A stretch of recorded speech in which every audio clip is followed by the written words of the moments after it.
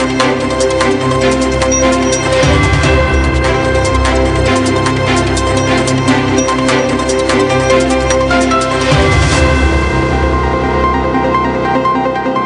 Pemirsa Polres Sorong Kota laksanakan apel gelar pasukan dalam rangka operasi Pantuman Sinam 2021 guna tingkatkan kedisiplinan protokol kesehatan dan tertib berlalu lintas demi mencegah penyebaran COVID-19 serta mewujudkan kamsel tip Carlantas yang mantap di Kota Sorong.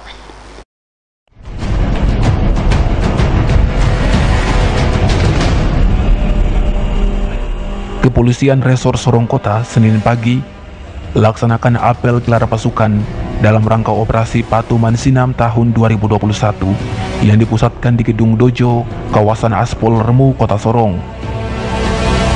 Apel gelar pasukan tersebut dipimpin langsung Kapolres Sorong Kota, Ajun Komisaris Besar Polisi Arinyoto Setiawan. Operasi dimaksud diagendakan akan digelar hingga 4 Oktober 2021 mendatang.